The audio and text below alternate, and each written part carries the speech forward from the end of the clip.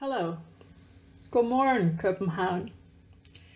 This is Ingrid Piller, coming to you from Sydney in Australia, and I'm delighted to be able to share some reflections on the politics of migrant language learning with you today. I'm speaking to you from more than 16,000 kilometers away, and my research has mostly been in Australia, which may seem a long way away from Denmark and in a very different research context. However, Migration is a big issue in both contexts. OECD data, first generation immigrants account for around 5% of students in Scandinavian schools, and the children of immigrants, the so-called second generation, account for another 5 to 10%. In Australia, these figures are slightly higher, and sit around 12% for both um, first and second generation, meaning that a quarter of all students in Australia have a migrant background. The somewhat higher figures in Australia reflect a longer migration history and the fact that migration has been part of Australia's national identity since the end of World War II. In short, migration, and with it the linguistic diversity it engenders, is a demographic reality both in Scandinavia and in Australia, and indeed across the OECD and beyond.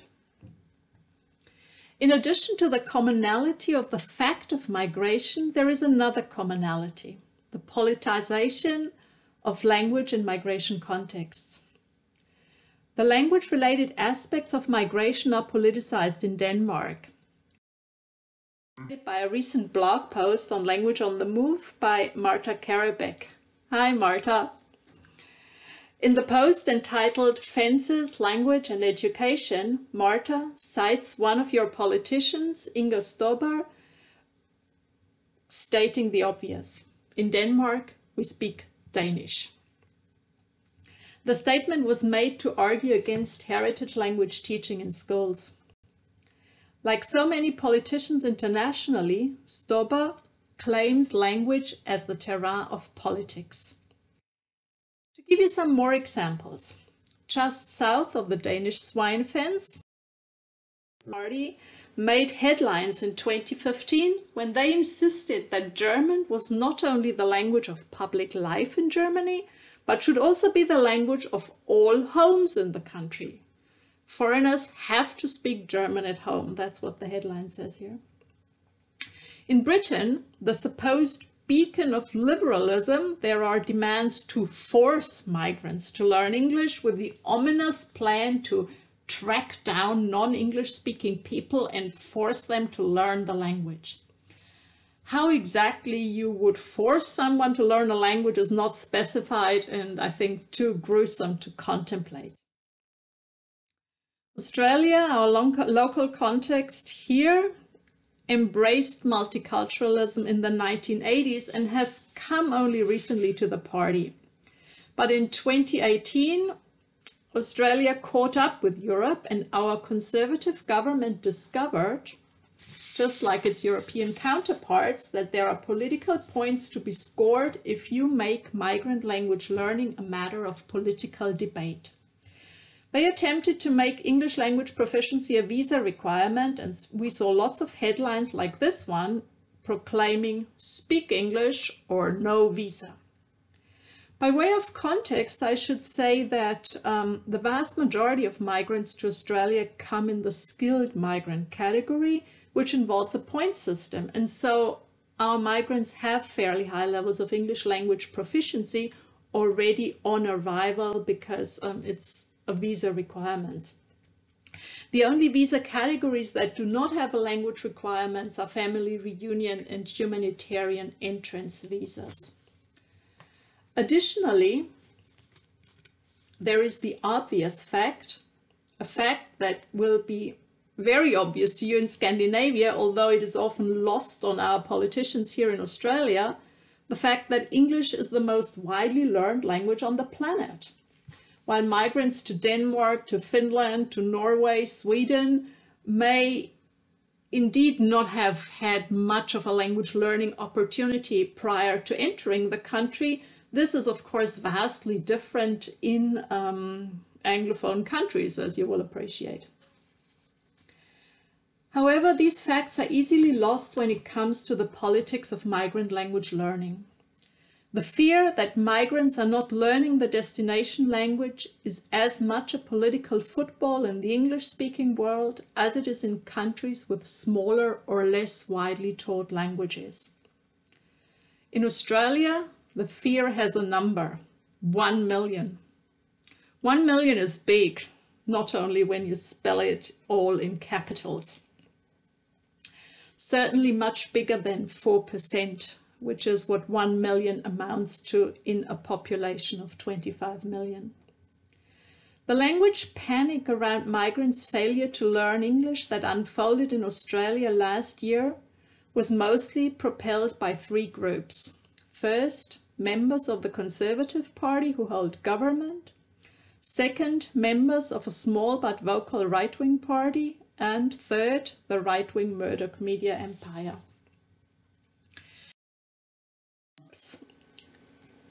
Together propelled a language panic about migrants' failure to learn English. The language panic made one central claim that large numbers of migrants do not learn English. This claim was undergirded by two assumptions. First, that not speaking English is a matter of personal choice, and second, that speaking a language other than English, or um, LOTE for short, here on the slide, is cause for suspicion.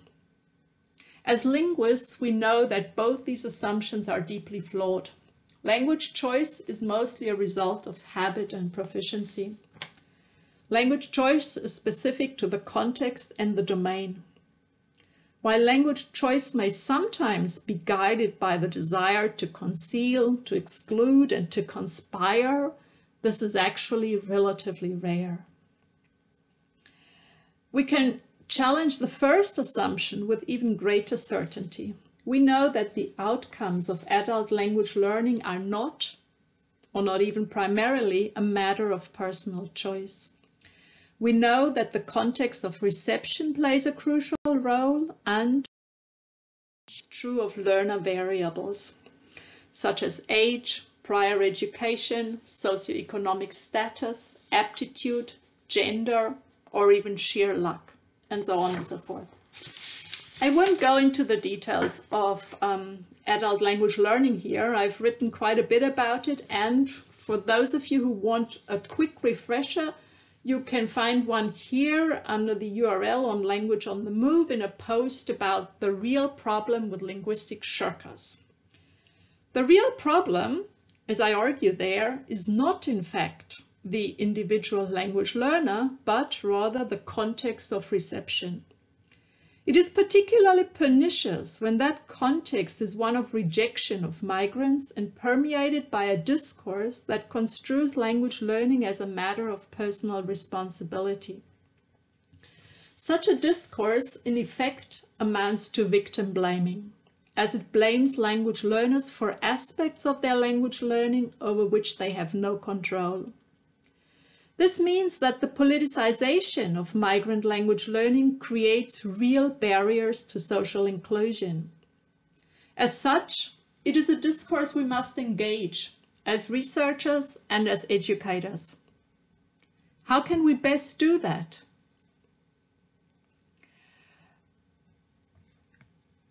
Engage. What is our role when it comes to the politicization of migrant language learning and engagement with the to be deeply flawed. During the 2018 language panic in Australia that I spoke about earlier, I undertook a lot of media engagement. I wrote a series of articles for The Conversation, um, newspaper, you, academic kind of newspaper you may be familiar with in Europe, which attempted to set the record straight. Um, I wrote about the factors at play in adult language learning in the article you see here. About the time it takes to learn another language. Make the claim that one million migrants to Australia do not speak a lang- do not speak English. As far as the popularity of academic linguists and their media engagement goes, those articles were highly successful. They were widely read on the conversation. They were republished by major national and even international media outlets. And they garnered me a fair number of radio interviews. After a few months of intense media engagement, I felt pretty exhausted. But had I actually changed anyone's understanding of migrant language learning? Unfortunately, I'm not particularly optimistic. In fact, I've had to conclude that those who politicize migrant language learning for their own political gain do not wish to be convinced otherwise. And for everyone else, the claim of a politician who knows nothing about language learning still rings much louder and more convincing than the considered opinion and research of researchers in the field. The fact check in particular left me rather disillusioned because I felt it conceded the terms of the debate. While the number of 1 million non-speakers of English in Australia is certainly too high, the precise number is ultimately irrelevant. It is irrelevant because it accepts that language learning is an individual responsibility and that those who do not succeed to learn the dominant language to a particular and usually arbitrary standard are not worthy of living in our country. As such, engaging with the politicization of migrant language learning on the terms of the debate set by politicians with ulterior motives, as I did last year, cannot achieve much as, it, as long as it fails to challenge what Marta Karabek has referred to as a severely limited imagination when it comes to multilingualism and cultural diversity. The discursive means to imagine cultural, ethnic, and linguistic diversity differently are currently lacking. So how can we shift the terms of the debate and expand the limited imagination around multilingualism and linguistic diversity? Let me try another tack and move away from the abstract debate around migrant language learning. Let's see what blanket statements such as in Australia we speak English or in Denmark we speak Danish actually mean in people's lives let me introduce three Australians to you. Maria Niceforo, Vinesh Varatharaj, and Marcia Rahimi. You that their stories are shocking and some images on the slides are graphic. Let's begin with Maria Niceforo. Maria died in 2014 when she was 75 years old from infected pressure wounds. The wounds were found to be contaminated with her excrement and the dentures in her mouth had not been cleaned in months and had collected mold. During the inquest into her death, it emerged that Maria, who had come to Australia from Italy in her 20s and did not speak much English in her old age, had difficulty communicating with her carers. In particular, the carers reported that Maria had refused to follow their instructions and that she was not cooperating with her treatment plan. They described her, and I quote, as stubborn. That there might be a better way to secure Maria's cooperation in her care plan than speaking to her in a language that she did not understand seems not to have occurred to anyone. On to Vinesh Varatharaj. Vinesh was a worker in a chemical waste disposal facility that went up in flames last year and covered Melbourne in toxic smoke for a number of days. During the inquest into the industrial accident, it emerged that the factory exclusively employed workers from Sri Lanka, who were in Australia on temporary work visas and spoke limited English. Workers such as Vinesh, who was badly burned during the accident, were aware of the dangerous conditions and practices in the factory. However, they were unaware of Australian occupational health and safety legislation, and they did not have access to the right channels to get their concerns heard by the authorities or to lodge a complaint. Their lack of English language proficiency was one aspect of their overall vulnerability. Had information and reporting channels in Tamil been available, an industrial accident which negatively impacted hundreds of thousands of people could have been avoided. Example, let's meet Marcia Rahimi, who in 2007 was strangled to death by her husband in their Melbourne home. In the weeks leading up to her murder, Marcia had twice called triple zero, that's Australia's emergency hotline. In both cases, the phone call was aborted before a Dari interpreter could be brought into the conversation. On neither occasion was there a callback attempt, nor was a police car dispatched to her address. During her husband's murder trial, the judge asked how emergency, service, how emergency services could be improved to break down the barrier created by limited ability to communicate in English for women such as Marcia to receive support. Since then, more attention is being paid to ensure better access for um, domestic violence victims to support services and particularly for women um, from non-English speaking backgrounds. So what do the stories of Maria Vinesh and Marcia, stories about social problems resulting from the simplistic assertion that in Australia we speak English or in Denmark we speak Danish, what do these stories mean for the way we understand language in migrant societies? What do they mean for our engagement with the politicization of migrant language learning? It seems to me that the linguist's conviction that linguistic diversity is inherently a good thing is not enough to make a claim on resources. Asserting that linguistic diversity is a good thing in the abstract is relatively weak as it just pits one claim against another. The claim of the national language versus a diffuse ideal of multilingualism. I argue that we need to shift our attention away from language to social participation. The way to expand our severely limited imagination when it comes to multilingualism and cultural diversity is not actually on the terrain of language and national identity at all.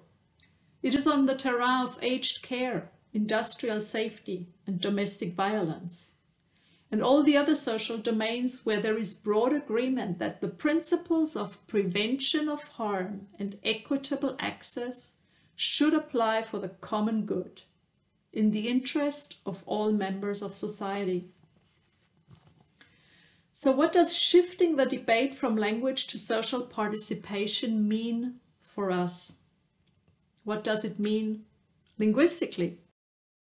Best evidence that we have, in which I assembled in my 2016 book Linguistic Diversity and Social Justice, relates to multilingual service provision and language learning. Availability of public service communications in languages other than English or Danish, Finnish, Norwegian or Swedish is essential, as is access to interpreter services.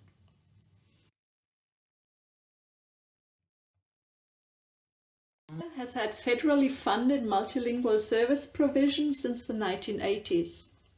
And while much remains to be done, we know that multilingual service provision is feasible.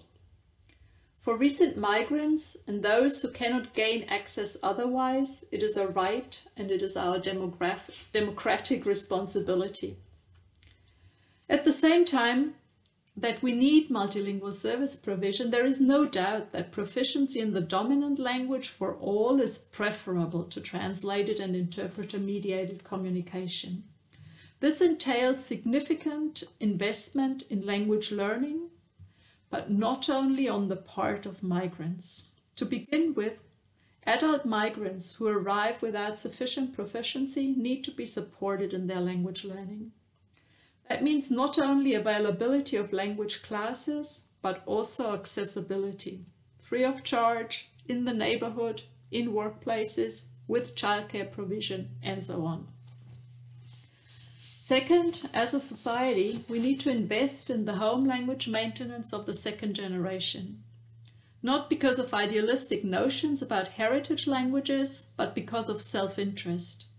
Strong families are the basis of a strong society. Today's children will be the multilingual mediators of the future. And security in their dual identities also seems a good protection against radicalization. Finally, language learning is not only the challenge of newcomers. Old-timers need to share the communicative burden too. It doesn't have to be full-on language learning for everyone. The research by Tracey Derwing and her colleagues in Canada has shown that a little training in what a particular accent sounds like. Vietnamese and Arabic accented English in their research, so what this kind of English looks like actually can go a really long way to improving intergroup relationships. Wrap up and recap. As linguists and edu educators, we are naturally focused on language. The politicization of language means we are confronted with a lot of talk about language that seems ill-informed and misguided, and it's very tempting to wade into the fray. However, what is, what is actually a legitimate counterclaim to the notion that in Australia we speak English or in Denmark we speak Danish. But we'd prefer a diverse and multilingual Australia or Denmark? That is ultimately little more than a debate about taste and preferences. The way forward is different. The way forward is to go away from the terrain of language and to reframe the debate. It is not about language, but about the social consequences of language. Ultimately, language is a social justice issue. Our contribution as researchers and educators must be to examine where and how language is a social justice issue and what less harmful linguistic arrangements look like. Thank you so much for your attention and I'll be looking forward to your questions.